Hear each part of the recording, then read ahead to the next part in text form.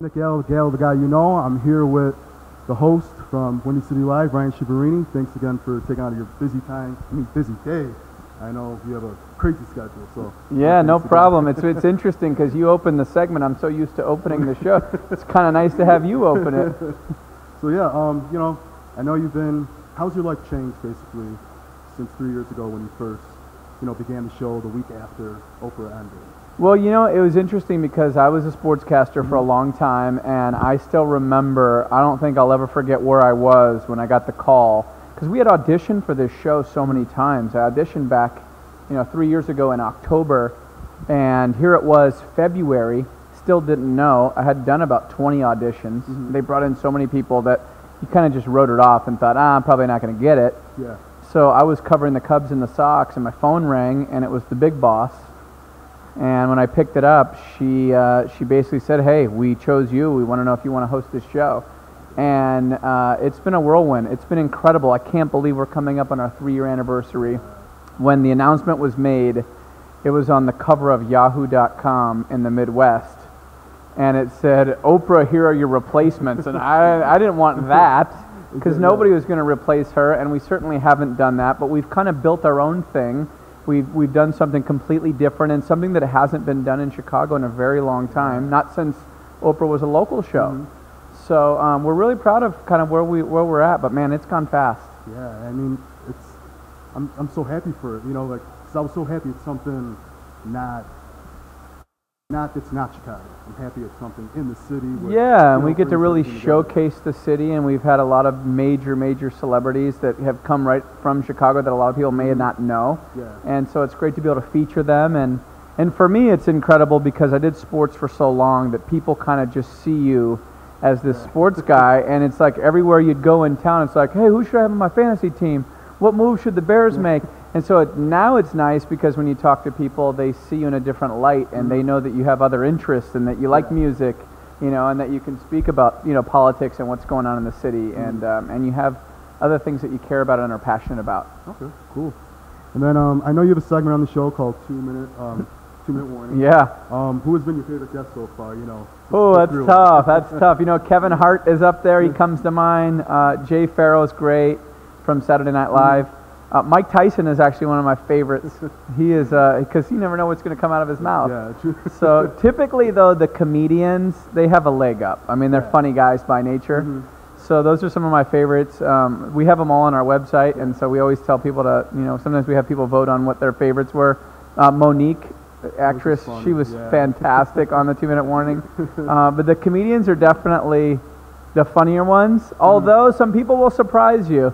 Like I, I did one with Larry King, and he was really, really great. Because you, you know, you walk in, Larry King is like a legend, right? Yeah. and you don't know if he's going to take himself too seriously or not. And he was fantastic. So um, I'm always looking for the next one. You know, I'm always looking for the next funny uh, bit that we can do with a celebrity. Okay, cool. And I know uh, two of your favorite hobbies are playing hockey and guitar. Yeah. Uh, which one do you favor a little more? Would you say? Oh, that's tough, Nick. If I had to choose, like if I had a gun to my head, uh, I, I, I would have to pick the guitar. I, I'm a music guy. My, um, I grew up in a music family. My father makes his living as a singer and guitarist. He actually's got a song on the Pulp Fiction soundtrack. Oh, okay. Uh, track 15, Surf Rider's his song. So I grew up listening to music, and um, I got really serious about it when I was in my mid 20s. And um, I, I probably play the guitar and write. I, I definitely play every day, and I try to write some of my own stuff. We're actually working on a Chicago themed song. okay. I'm giving you some insight here, uh, and um, we're hoping to, to launch it for charity here in town. So we're, we're trying to do that in time for the summer. But I do love playing hockey too. Yeah. Nice, nice. So, um, who is one person you know that you want to interview on your bucket list where you're just like, you know, before I retire, that you're just like, it has to, it has to get done. That's easy for me. It's uh, don't don't don't judge. Okay. It's Tom Cruise, man.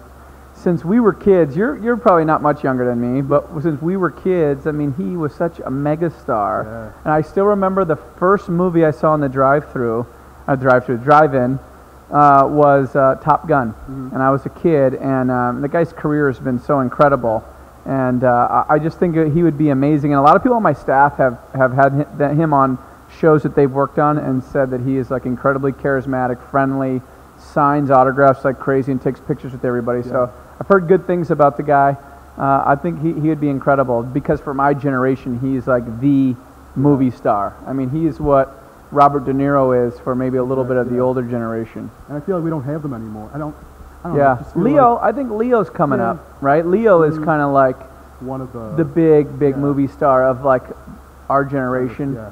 But Tom Cruise was the guy, you know, watching Top Gun and you know Days of Thunder and Color of Money and all, all the movies he's done. I would think about that guy's played like everything you could humanly Yeah. do in life. Every kind He's of done. Yeah. Yeah. It's it's pretty amazing. Yeah, Okay. Cool. it's amazing that he hasn't won an Oscar yet. Really? Yeah, nominated it twice, but he hasn't won. Yeah, That's crazy. I I didn't know. know, that. Yeah. yeah. So, um, what are some of your favorite spots, you know, to go in Chicago? Either, you know, restaurant, club, arena, venue. Yeah, you know, I'm getting too old for the club, man.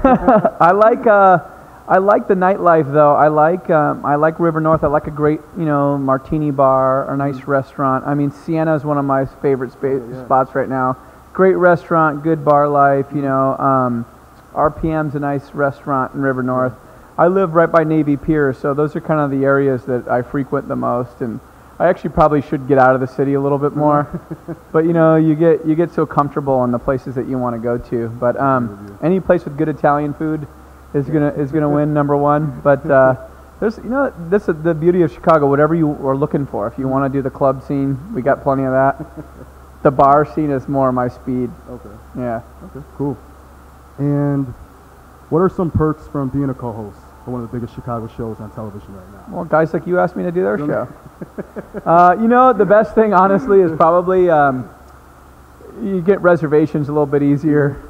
And um, I love going to concerts, and, and um, sometimes you get you get to meet some of the artists. I mean, I think that's the coolest thing is you get to meet the guys and the, the musicians, the actors that you grew up Yeah. watching on the big screen, and now they're sitting right next to you. Like we just had Greg Kinnear on my show today, uh, Oscar-nominated actor, and I remember watching him in As Good as It Gets or You've Got Yeah. Mail in the '90s, and now he's sitting right next to you. And the same can be said with you know with with Mike Tyson or Jimmy Kimmel.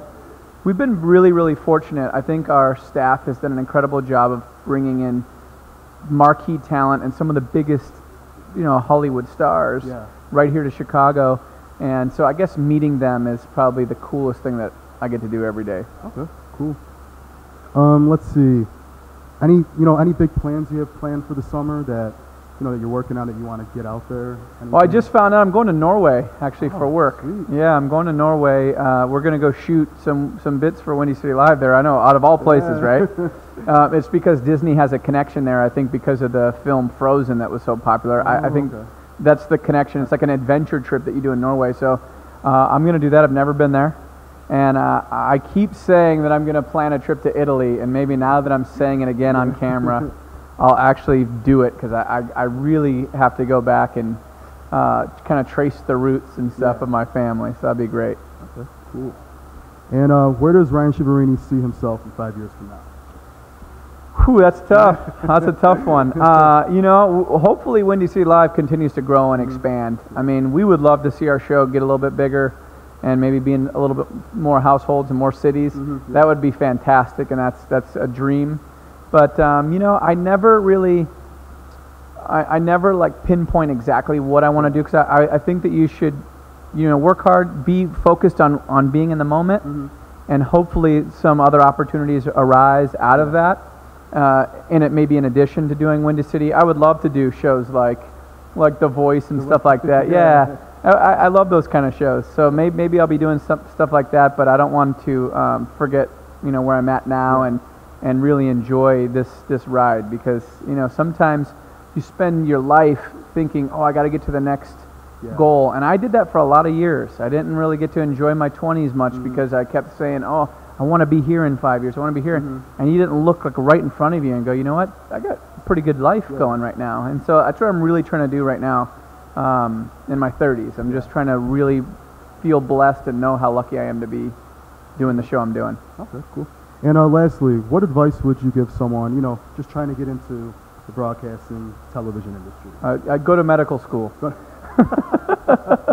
it's a tough business. Um, I don't like to discourage people, but I always tell I always tell everybody. I mean, it's this business has gotten so much more difficult because there's just fewer jobs. Even though we have more channels, we have a lot. Uh, our staffs are smaller. If you saw our staff on Windy City, Yeah. it's amazing that we're putting on you know the the amount of television that we are. Yeah. Um, but there's not as much revenue in television. But um, don't let that stop you. Like if, if it's what you want to do, and if you want, if you want to, you'll probably be kicking me out of Windy City Live in five years. Yeah. But um, you know, if it's what you really want to do, you you got to make every single effort that you could. My first job was in Great Falls, Montana.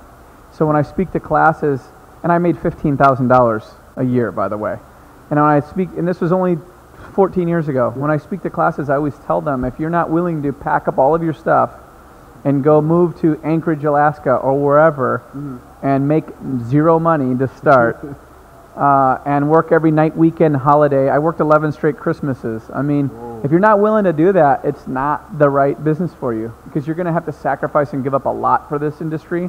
But once you, you know, get to where you want to be and once you make it, I think that it's all worth it. You know. Okay. So d- don't let anybody tell you no. If people tell you no and say they're not going to hire you, you go knock on five more doors. That's Yeah. what you got to do. That's what I'm trying to do. Yeah. You know, I've had, hey, I had I had plenty of doors that were closed early on in my career, and mm-hmm. people didn't want to hire me. And I remember being like bitter toward them for a little bit, you know. And then when I got a job, you know, in like Chicago, I wanted to like call every one of them and tell them, "Hey, five years ago you didn't want to hire me, but you know what? You can't. You don't let it let it fuel you positively Yeah. and make you want to, you know, keep doing what you're doing. But hey, right now for you, you're doing it. Yeah, I'm trying. We're doing. You, I saw you interview Jennifer Hudson, man. You're doing all right. I'm trying. I'm trying. You know. Keep doing it. yeah. Keep, going. You know. That's right. Yeah, you know, it's uh, Nick Gallo, Gallo, the guy you know. It's a wrap on this interview with Ryan Chiaverini. Thanks again so much for you know taking the time. My pleasure. Appreciate it, bro. Thanks, Nick. Thanks.